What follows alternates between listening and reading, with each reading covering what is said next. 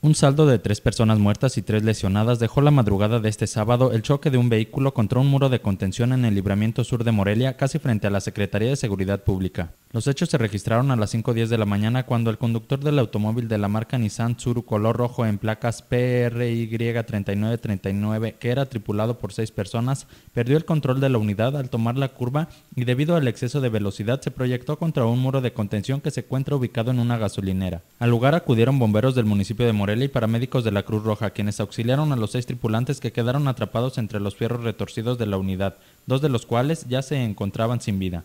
Con equipo hidráulico se logró rescatar vivos a cuatro de los tripulantes del vehículo que quedó convertido en chatarra, pero cuando arribaba al hospital Star Médica, Edwin Luciano Ibáñez, de 32 años, perdió la vida debido a la gravedad de las lesiones. Luis Roberto Sánchez Rangel, de 36 años de edad, y otros dos jóvenes quedaron internados en el Hospital Civil de la capital michoacana, donde reportan su estado de salud como grave. Dos fallecidos y dos lesionados no han sido identificados. Con información de Sandra Sáenz Informa, Cuasar TV.